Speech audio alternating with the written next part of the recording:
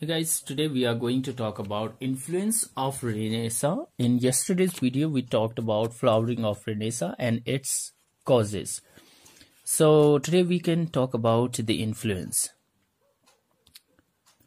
The influence of Renaissance on English literature is immense. What was its uh, influence? Hudson says is does much to emancipate thought from the bondage of uh, medieval theology by restoring the generous spirit and ideals of pagan antiquity, and it represented writers with literacy masterpieces which they might take as model for their own effort. Next uh, greatest influence was of humanism. In medieval time, you can uh, see the inhuman restrictions, but later the ascetic ideal of Middle Ages was replaced by humanism and the ideal of enjoyment of life.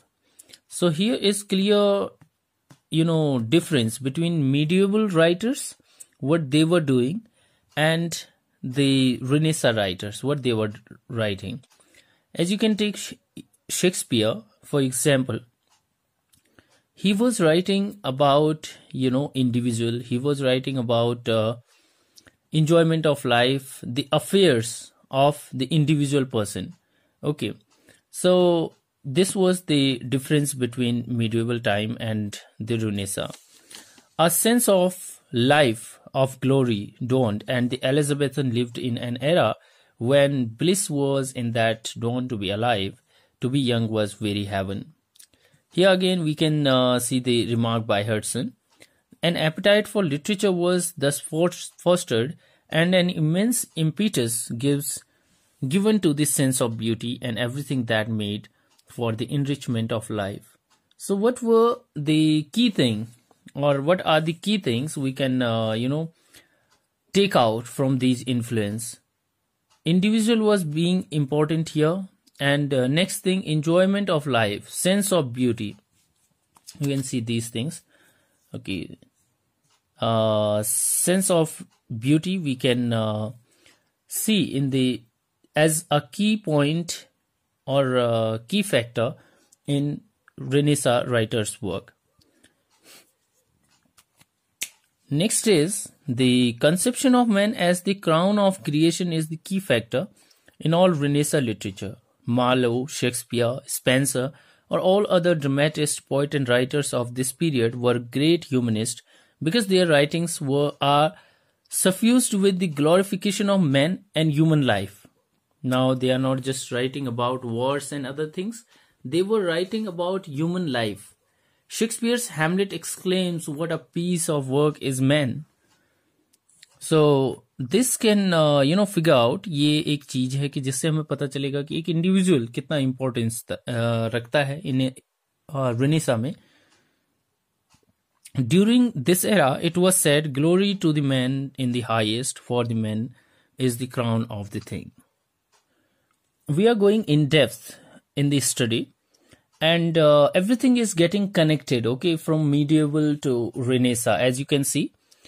Renaissance, now humanism, now humanism gave birth to individualism and worldliness. Are you getting? Hopefully, you are getting, and uh, I am, uh, you know, uh, trying to make uh, the things clear so that you can understand the whole chapter and uh, you will understand the relation between things and the words.